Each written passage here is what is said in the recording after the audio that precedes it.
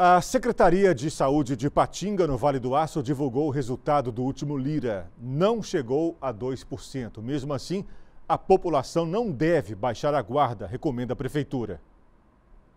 Segundo a Secretaria de Saúde de Ipatinga, o índice apresentado no levantamento foi de 1,9% de infestação larvária nos 4.859 imóveis vistoriados. O número apurado é bem menor que o índice apresentado no início do ano, que foi de 7,4%. Foi um índice bem satisfatório, que a gente conseguiu reduzir bastante o índice larvário. Nosso índice larvário foi para 1,9%. E essa diminuição se deu a vários fatores. Um dos principais fatores foi a recomposição do quadro dos funcionários. O segundo fator, a gente adquiriu né, três equipamentos de termobilizador que ajuda, facilita é, o trabalho dos agentes no campo. Nós tivemos pela Prefeitura de Patinga a contratação também do carro do fumacê e o empenho de alguns setores responsáveis pela limpeza e fiscalização de lotes. A pesquisa revelou os bairros e regiões que apresentaram maiores índices de infestação larvária.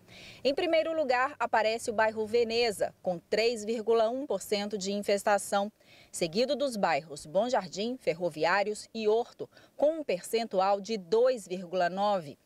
A região central de Ipatinga foi que apresentou o menor índice, com 0,6% de infestação larvária. Mesmo tendo essa redução, a gente continua pedindo né, o apoio da população, ficar sempre atento, porque nós vivemos numa, é, num país, né, não é só Ipatinga, porque não foi só Ipatinga que teve essa epidemia, foi o país, foi geral. A gente continua pedindo a ajuda né, de todos os munícipes, a atenção, porque o problema ele está controlado, ele não foi resolvido.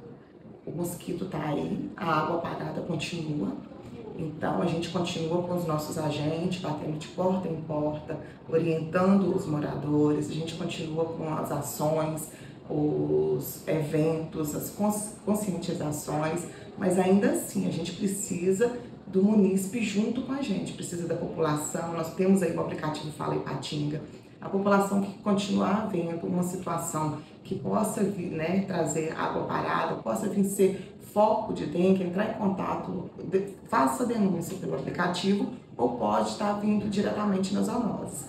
De acordo com o painel de monitoramento da Secretaria de Estado de Saúde, Ipatinga registrou em 2024 6.049 casos de dengue. Já os casos de chikungunya, o município contabiliza 15.301. Em Ipatinga, sete pessoas morreram pela doença. Outros cinco óbitos estão em investigação.